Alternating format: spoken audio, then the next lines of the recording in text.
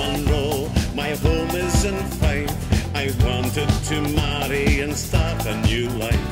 I was ready to fly to the US of A, but a certain lassie would say, Oh, no,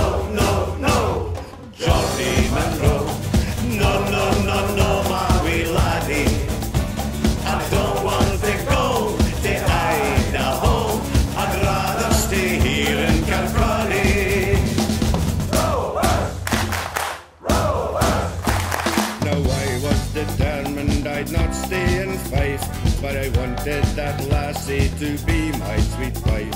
One day we went for a walk down the glen, and I asked her